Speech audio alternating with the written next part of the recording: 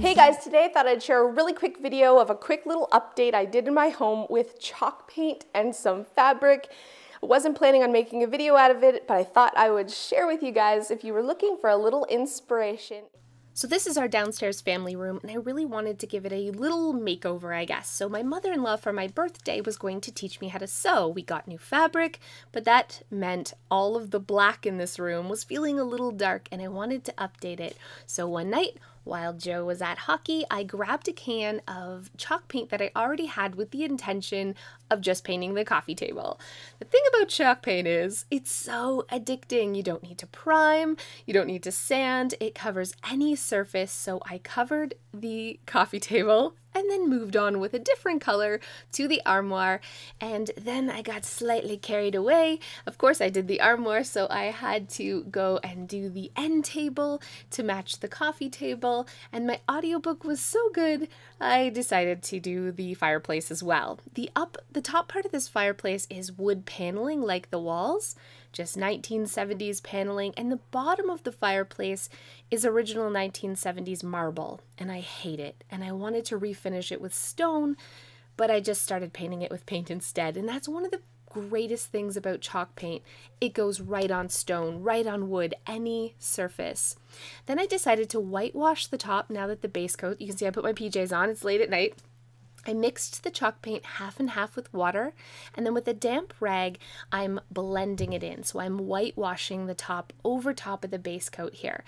Uh, just wiping it on and then wiping it off again. And now I'm going ahead with a darker color, mixing it half and half with water. Again, I'm going to put all the colors down below, and I'm dry brushing this on. So removing most of the paint and then just dry brushing it so you can really catch those brush marks I made with the original coat. I covered the whole table in two different darker colors over top, a gray and a dark blue, after whitewashing it, and I really liked the way it looked. I liked it so much, I did the same technique over top of the fireplace. Using a different dry brushing technique, I used some dark blue and gray on top of this armoire. This armoire is just inexpensive laminate, but it's really easy with chalk paint to make it look old and antique, and especially love, I'm white waxing it now, clear waxing it, and then going over top with the dark wax that you can get from Annie Sloan to really age it and antique it and make it look more like actual old wood. Really simple, you cannot mess up with chalk paint. There's a lot of better tutorials than this one. I'm really just trying to inspire you guys. This is what the final fireplace looked like it needed something. That mantel standing out like a sore thumb. So using some leftover um, stain the next day, I put my painting clothes back on, and Izzy and I stained the mantel, and it looks so much better just using leftover gel stain, one coat. Now it was time to decorate. I actually made the, these topiaries myself, and I found these lanterns at the dollar store, you guys. And these are the pillows I made all by myself. My mother in law taught me how to sew. I found this fabric for a dime and sewed some new curtains and pillows. For the centerpiece, this is everything you see is from the dollar store. I found this little mirror for putting underneath and all of these succulents and things from the dollar store, and it makes a really pretty centerpiece. So, again, the before, it just needed a little inexpensive update. I did this just overnight uh, in less than 12 hours. It dries really fast. I love the way it turns out. Just a couple little things here and there, not spending a lot.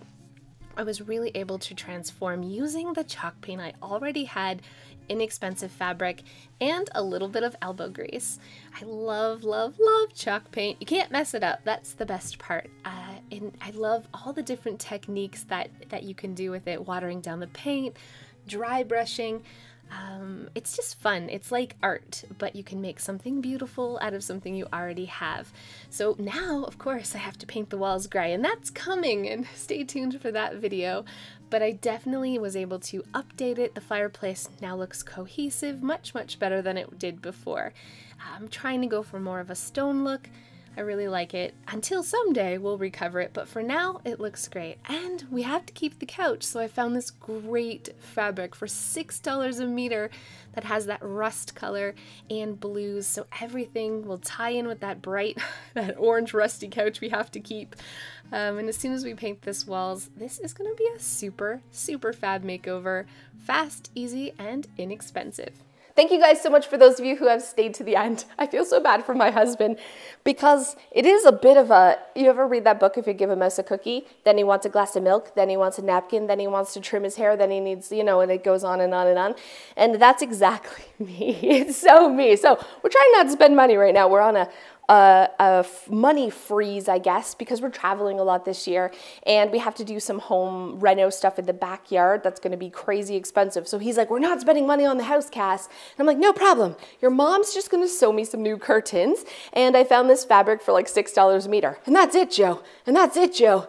And then I hang up the curtains and I'm like, ooh, but everything else looks so craptacular.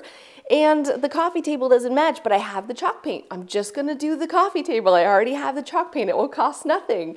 And then that leads into the armoire and the fireplace. And now the walls are super yellow. I have to paint the walls. and then when I paint the walls, you know I'm gonna need new flooring. It's hilarious. It is so funny. I do this all the time. I'll like go and get a new picture and then the whole room has to be changed to match this just one thing that I do. Tell me I'm not alone. Why do I do these things? Like I stained the kitchen and it was like this oak and then I stained it dark, but then the rest of the house that was also oak, I had, I had to stain the entire house to match, but I never think of these things before I start. I jump into a project and then I'm like, okay, now now everything else doesn't match. and then everything has to be, my poor husband. So um, he's saying no to painting the walls, but he's also going away uh, for a couple of days in the spring. Hmm. My mother-in-law, she's like, when he's gone away, you call me and I'll come and we'll paint together. she's totally conspiring because she's just like me. Um, so I had to share that with you and see if I am not alone with that, you know, you give me an inch and I, I need the mile. I can't help it. It must be taken. It's just the way I work. I'll see you next time.